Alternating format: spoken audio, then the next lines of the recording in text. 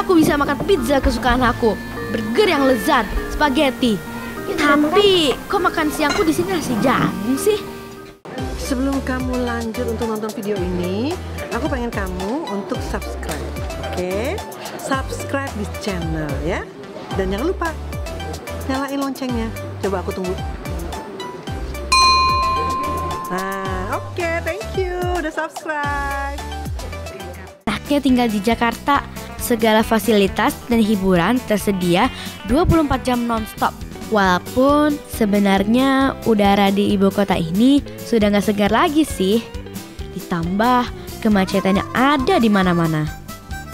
Akhirnya tiba juga hari ini rapor sekolah dibagi dan yang paling seneng aku dapat nilai paling bagus di sekolahku. Wah, ini pasti karena kerja kerasku selama ini. Mama pasti menghadiahi aku hadiah yang sangat spesial. Aku harus cepat-cepat pulang nih.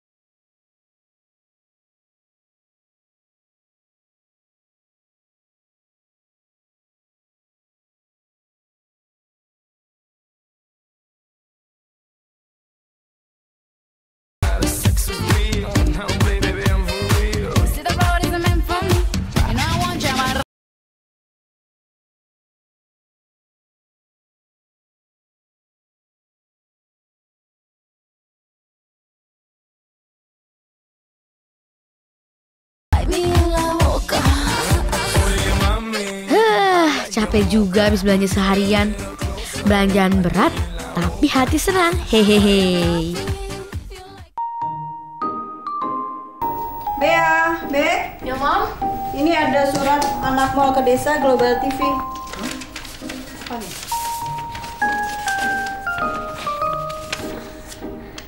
Jadi aku liburan ke desa, Mom. Iya, Yeay, akhirnya ada balasan juga dari tim anak mau ke desa. Dan aku bisa liburan ke desa. Penasaran banget deh, kayak gimana sih desa itu?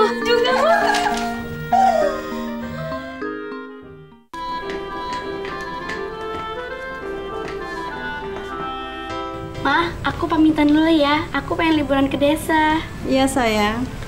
Hati-hati di sana ya. Mama yakin kamu pasti senang.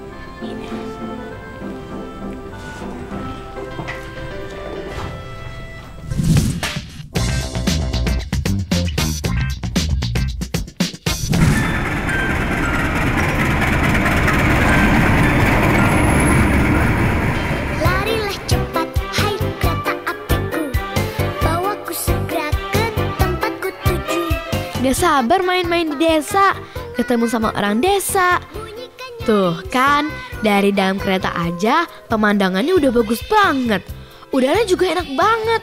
Apalagi kalau aku udah sampai di desanya, pasti indah banget. Kereta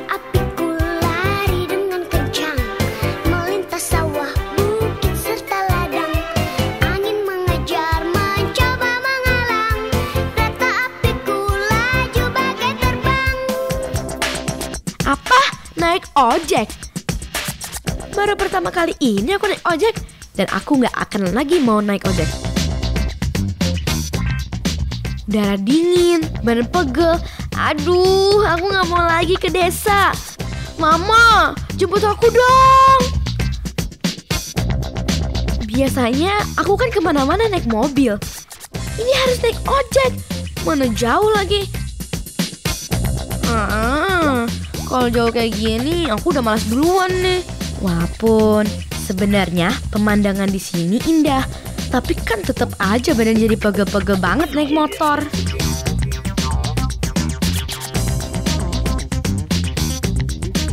Dan setelah penderitaanku naik ojek, aku masih harus jalan lagi. Ya ampun, aku pasti nggak akan betah tinggal di sini. Mana barang bawaanku berat banget lagi. Nggak ada yang mau nolongin aku apa? Kalau di rumah sih, aku tinggal minta bawain sama pembantu aku. Heh, susah banget deh tinggal di desa.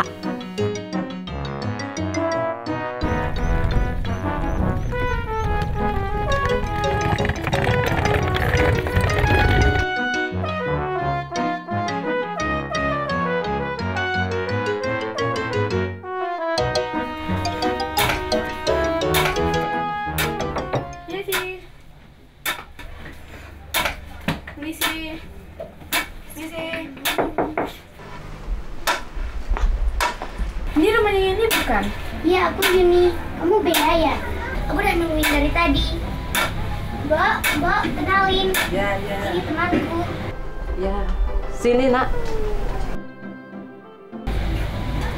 Sayang pokoknya ini. Mari Masuk sini, yuk. duduk sini. Dingin banget di luar. Ya, Udah sini, udaranya dingin, dindingnya nggak terbuat dari tembok. Ya. Terus apaan tuh yang ditumbuk sama ibunya Yuni? Jangan-jangan aku disuruh makan itu. Uh, nggak mau, nggak mau, nggak mau.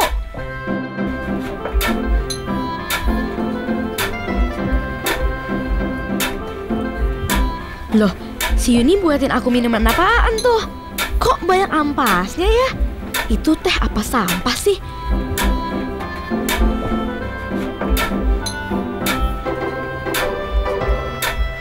Ini tehnya. Oke. Kampungan nih minumannya. Teh tapi kok banyak ampasnya?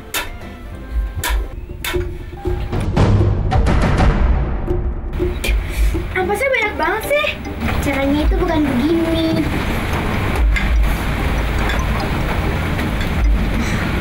Sekarang kamu minum.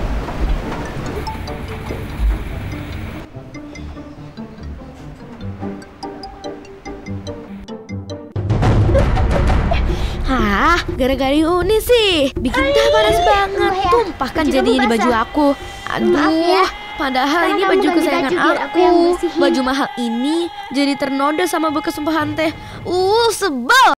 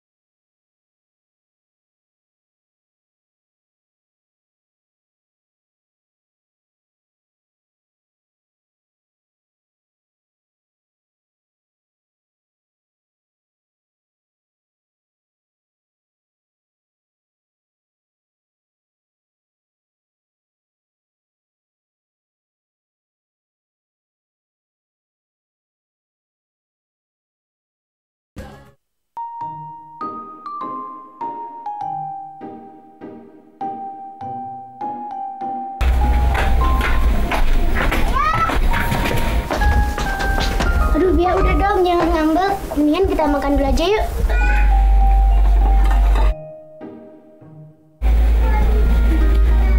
Itu apaan Yun?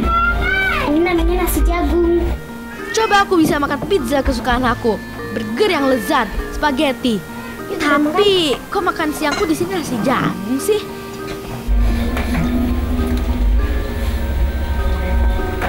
Kelihatannya si Yuni makannya lahap banget.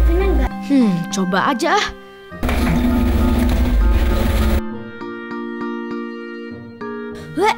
Makanan apaan nih? Ih, gak enak banget sih. Aduh, ini beneran makanan buat orang ya? Makanannya enak nggak? Enak. Apanya enak? Baru sekali ini aku makan nasi jagung. Dan aku gak akan mau lagi. Wah, Ini itu yang biasa aku makan setiap hari di rumah. Yun, kono sah-sah seneng kali. Yo. Yuk kita makanan cepet aja yuk. Udah, aku udahan makannya. astaga. Tadi disuruh nyari sayur di sawah. Sekarang harus nyuci piring ke sungai. Hah, emang di rumah ini gak ada tempat buat cuci piring apa? Yuk kita cuci piring. Capek tahu. Harus jalan lagi, jalan lagi. Kalau di rumah aku juga nggak pernah cuci piring. Ada pembantu ini kan? Heh, kalau tiap hari aku jadi Yuni nih, nggak tahan kali aku. Jauh banget sih lokasinya. Enggak kos. Sebentar lagi juga sampai. Mana tadi ada ulet lagi? Aku kan fobia banget sama ulet. Aduh, kamu tuh nyuci jauh banget sih. Sampai ketemu ular segala lagi. Aku sih kalau nyuci nggak biasa. Soalnya di rumahku ada pembantu. Emangnya di rumahmu nggak ada air? Lihat di sini tuh licin. Oh ya? Pecah. Aduh, gimana nih? Aku mencari piringnya Yuni. Duh, aku harus bilang apa kalau ditanya ibunya Yuni? Aduh Yun, maaf banget ya Yun. Aku nggak sengaja. Udah nggak apa kok. Tapi nanti mamamu marah. Enggak, udah biarin aja. Yuk kita pulang. Ternyata cuci piring itu gak segampang yang aku pikir ya.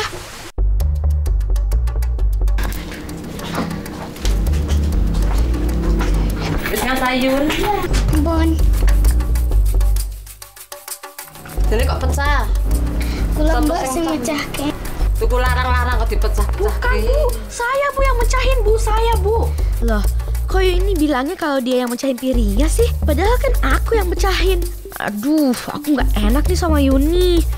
Gara-gara aku, dia dimarahin sama ibunya. Oh ya, wes, wes, wes, wes, wes, wes, wes. Ya ampun, selama ini aku salah menilai Yuni. Ternyata dia udah baik banget sama aku. Aku jadi nggak enak sama Yuni. Maafin aku ya. Aku janji deh nggak bakal jutek dan marah-marah sama kamu. Kenapa kamu yang bilang kalau kamu yang mecahin piringnya? Kan aku yang mecahin. Udah gitu mendingan kita main aja sama temen aku. Iya,